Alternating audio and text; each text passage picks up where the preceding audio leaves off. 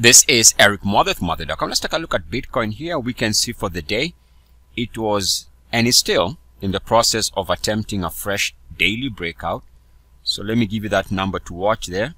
And I'm using Bitfinex. So whatever exchange you are using, the recent daily closing high right here from about, let's call it about and around June 26th, whatever that daily closing high in whatever exchange you are using. So on Bitfinex, the number is 12876. So Bitcoin does need to clear this number and move above it if this daily breakout is to ignite further movement to the upside.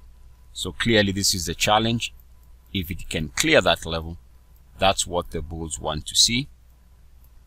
And as we can see, failure to hold above this level and break out, as right now we are seeing a question mark because it is pulling back after hitting that level failure to move above this level, in other words, a failed daily breakout, is not going to be what the bulls want to see.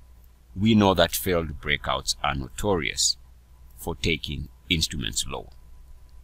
Now, something else I wanted to point out here is on the RSI. In fact, we can see a little bit of a relevance to where the RSI is trading. Why? Because take a look at where the RSI broke out here, which begins this fantastic breakout move and we go into a huge run up in Bitcoin.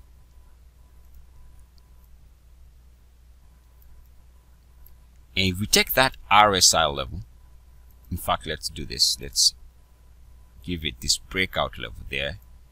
Again, breakout on the RSI corresponding with this price movement. Take that information, draw our straight line. Should be something like that. Notice how the market's been responding favorably every time we bounce on this line. We get a movement to the upside.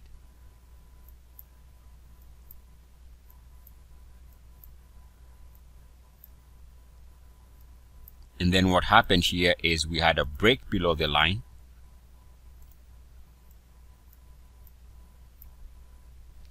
And a movement lower let's call it a short-term move low and then we recaptured the line again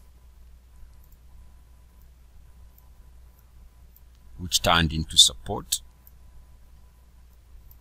and an attempt to support here that failed for the lows right here. All right so now we broke down below that level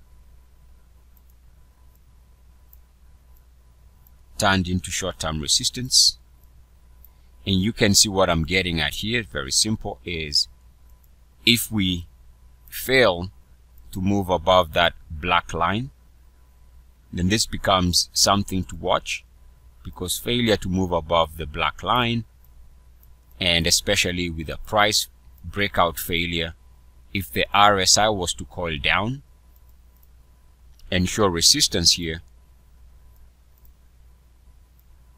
then this is suggesting that the next major swing trade on a day-to-day -day basis is lower. Now keep in mind again, price breakout and RSI resistance are going to determine the next trend. So we need a price breakout for the bulls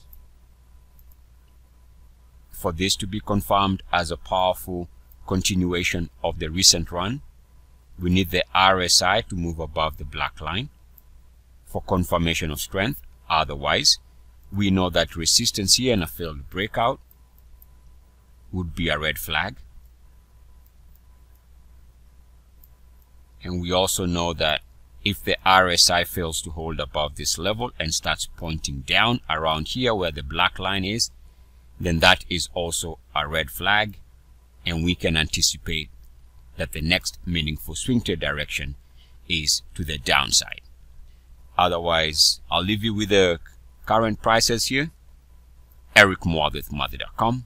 As always, good luck, peace, and blessings. E A C S.